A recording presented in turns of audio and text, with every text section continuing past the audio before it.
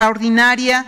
El pasado lunes informé a la población y a ustedes que eh, salieron de la Ciudad de México por parte de la Sedena y de Marina 19 toneladas. Esto fue el pasado lunes. El día de hoy, a las 7 de la mañana, están saliendo tres aviones más, tres aeronaves más, dos de Sedena, uno de Marina, con 20 toneladas más de ayuda humanitaria que consisten en 1.200 despensas que suman un 12, 12 eh, toneladas asimismo dos toneladas de leche, una y media toneladas de agua y 4.6 eh, de ayuda humanitaria diversa.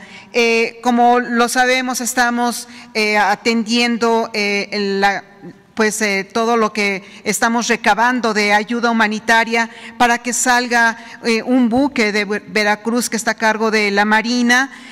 ya llevan una suma de 120 toneladas hasta el día de hoy. Se estima que puedan estar saliendo el próximo domingo o lunes con una carga muy importante de ayuda humanitaria para Haití. Eso sería todo, señor presidente.